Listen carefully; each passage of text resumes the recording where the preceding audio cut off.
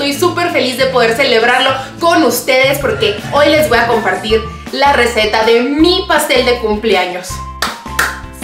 Comenta aquí abajo cuántos años crees que cumplo. Este pastel junta todas mis cosas favoritas en un solo pastel, así es como... ¡ah! o sea, es que ya me muero. Lo mejor es que el pastel de chocolate lo vamos a hacer desde cero.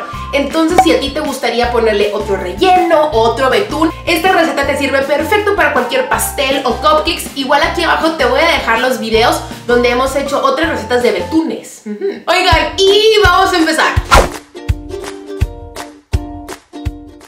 La receta completa para nuestro pastel está abajo.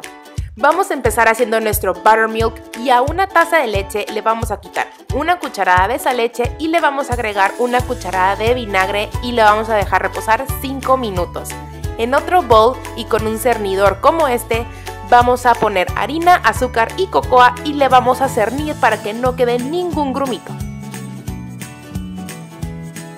Vamos a agregar nuestros polvos para hornear y la sal y esas cosas y lo vamos a revolver. En otro bowl vamos a agregar nuestro aceite y el buttermilk o leche preparada que acabamos de hacer, los huevos y un chorrito de vainilla y lo vamos a batir un poquito. Poco a poco vamos a ir agregando nuestros ingredientes secos para que se vayan mezclando súper bien. Y al final, oigan, el ingrediente especial es agregarle café.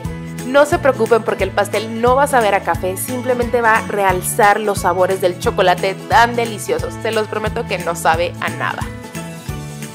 Ahora en dos moldes súper bien engrasados vamos a poner nuestra masa en iguales partes y esto lo vamos a mandar al horno durante 25 a 30 minutos más o menos.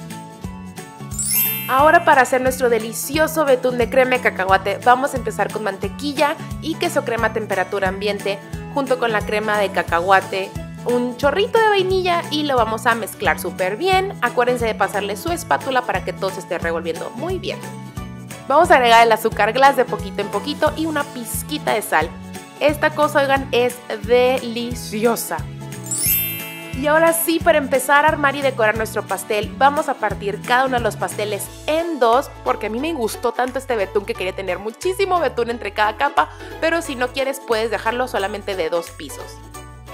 Vamos a hacer esto con esta herramienta que está demasiado padre y es súper fácil. Entonces ahora vamos a tener nuestra base y vamos a poner un poquito del frosting para que nuestro pastel no se esté ahí como que moviendo y vamos a empezar a poner capa de pastel y betún y pastel la verdad originalmente yo le quería poner toffees dentro de cada capa, pero se me olvidó y me acordé hasta la última capa, entonces al final tuve que levantar cada pedazo de pastel para podérselo poner, pero estoy súper orgullosa porque sí lo logré. Miren, son esos toffees, qué cosa tan más deliciosa. Al final lo pude levantar, por eso es que sé como medio embarrado. vamos a poner el resto de nuestro betún y vamos a poner una capita súper delgadita para que todas las migajitas estén como que bien pegadas y lo vamos a mandar al refri 20 minutos. Ya que ya pasado ese tiempo, vamos a poner nuestra capa final de betún.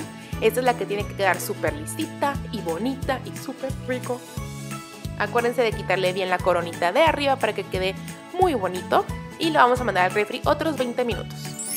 Ahora vamos a hacer nuestro ganache de chocolate, qué rico. Vamos a empezar poniendo un poquito de chocolate semi amargo así bien picadito y le vamos a agregar crema para batir súper súper caliente.